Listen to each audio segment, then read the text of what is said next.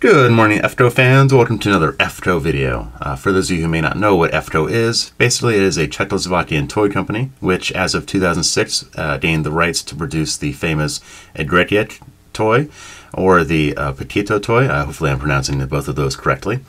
Uh, basically, it is a, well, to be blunt, a Playmobil knockoff. And at the time, 1976, these were produced uh, behind the Iron Curtain, and import fees from Germany were uh, exorbitantly high. So, as a parent in Czechoslovakia, these were really the only options you had if you wanted to have uh, fun toys for your kids to, to play with. So fast forward to 2006, uh, the original company IGRA went un- uh, went under, and thankfully, EFKO was able to revive the brand. When I started research uh, Playmobil knockoff brands, I kind of stumbled onto these guys randomly.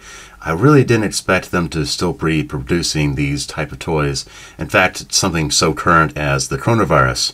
Wow, this is really going to date this video pretty bad, but this is what I found when I started uh, looking at eBay sales and other things, trying to find something to to to, re- to review, you know, to view to you guys. So here we go. Uh, this is basically uh, what they have going. It is a single figure pack. Uh, basically, is saying that to help stop the virus, we're going to uh, send uh, 15 Corona or Corona. Hopefully, I'm pronouncing that right. Oh, geez, I really wish I took Czechoslovakian in college. Uh, anyway, so basically, with each one of these sales, they're uh, they're sending 15 Corunas to to various uh, funds and things to help combat coronavirus. Uh, and 15 Corona basically equates to 69 cents U.S. Uh, dollars. Uh, so that's not too bad. That's a that's a good amount of funds that are being sent to to help fight this terrible disease. Oh my God, it's just it's just rambunctious around here. But um, anyway, uh, what we have here is a very simple figure. Uh, it does not have a nose. Let me bring the original figure here. Um, this uh, this one is also produced by EFKO, but it has a nose and uh, it's very similar uh, to the other one. But as as you can see, it has a face mask, as pretty much everyone does these days, and so it's really a kind of timely figure and not to mention you have a doctor. This this is the only figure that would really make sense to have a face mask in the first place. But you also have uh, the son here. He's got a little face mask too. He's being nice and protected. And you've got the daughter. Let's bring her out. Yep, she's protected as well. Uh, that's a single layer face mask. Uh, she might be, uh, she might want a double mask eventually. Uh, but I wanted to say that I liked how the uh, the the shirt here kind of folds or it looks like it's folded until you uh, put the legs up. So that's pretty cool how it's uh, integrated into the design there. And last but not least, we have the father. Love his little uh, little sweater combo there.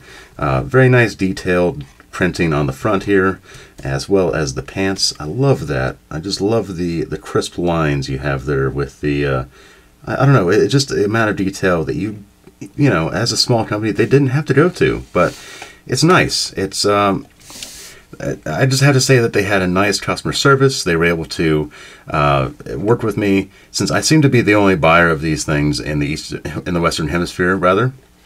So um, going through customs and going through my bank, and you know everyone involved was very courteous and very kind. So really big shout out to those guys. Um, uh, to EFKO in particular, the marketing and sales uh, executive. Uh, but yeah, so I, I, really like these figures. They're really interesting. They they all have the articulation and whatnot you would find from a Playmobil figure, uh, as well as rotating wrists. I believe the hair does come off, but I don't want to risk it.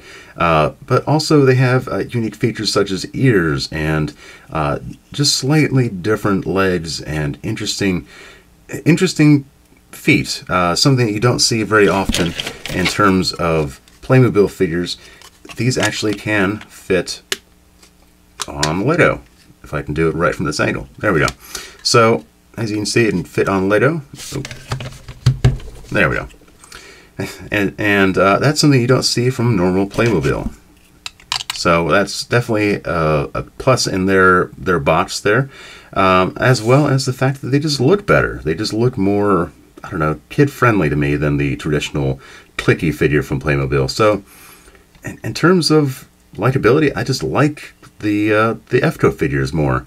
They're uh, they're colorful. They're they're you know, if it wasn't for the exorbitant amount of um, money that it took to ship these guys here, and I'm just saying it's a little bit, I probably would have bought more. You know, that's uh, just I'm just saying. Um, I'm becoming a fan of these guys, and just the fact that they want to help.